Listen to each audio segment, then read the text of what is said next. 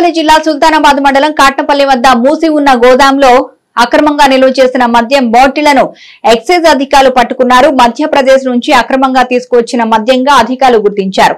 ఈ మేరకు స్వాధీనం చేసుకున్న మద్యం పెట్టెలను సుల్తానాబాద్ ఎక్సైజ్ కార్యాలయానికి తరలించారు. అనంతరం పెద్దపల్లి ఎక్సైజ్ సూపరింటెండెంట్ మహిపాల్ రెడ్డి మీడియాతో మాట్లాడారు. పార్లమెంట్ ఎన్నికల నేపథ్యంలో కాటంపల్లి గోదాంలో మద్యం నిల్వ చేసినట్టు తమకు సమాచారం వచ్చిందన్నారు. సిబ్బందితో కలిసి తనిఖీలు చేయగా గోనె సంచుల్లో నిల్వ చేసిన మందు బాటిళ్ళను గుర్తించినట్లు తెలిపారు. వీటి విలువ దాదాపు ఏడు లక్షలకు పైగా ఉంటుందని వివరించారు. ఈ తనిఖీల్లో సుల్తానాబాద్ పెద్దపల్లి సీఏలు గురునాథ్ రాథోడ్ శిరీష నాగరాజు ఎక్సైజ్ సిబ్బంది పాల్గొన్నారు. పాతబడ్డ రైస్ మిల్ అది. కాట్నేపల్లి శివారు ప్రాంతంలో. రోడ్డు పక్కకే ఉంటుంది. దక్షిణం వైపు గేట్ ఉంటుంది. ఆ దాంట్లో రూమ్లో ఇన్ఫర్మేషన్ ఉంటే దాన్ని సీజ్ చేసినాం.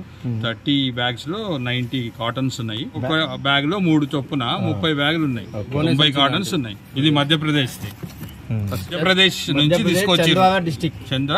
చంద్వారా డిస్ట్రిక్ట్ నుంచి తీసుకొచ్చి సెవెన్ లాక్స్ పడుతుంది.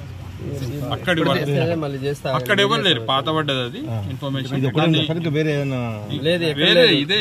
బయట చూసినాము ఎక్కడ దొరకలేదు. ఇది ఒకటే ఈ సీజ్ చేసి